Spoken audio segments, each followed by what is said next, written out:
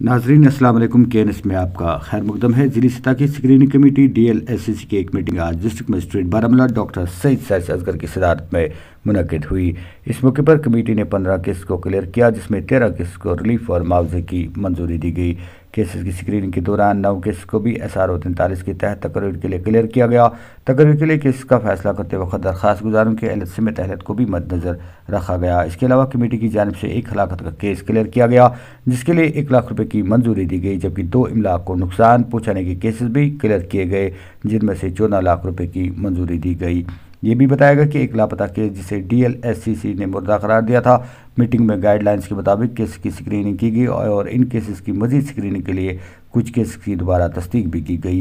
SSP Baramulla, Raees Mohammad Bhat ADC Ejaz, सराब commandant CRPF तिरपन battalion, commandant BSF headquarter, colonel बावन R colonel चतालीस R R ADC Joon Ahmad Raina S C R Peerzada Mumtaz Ahmad.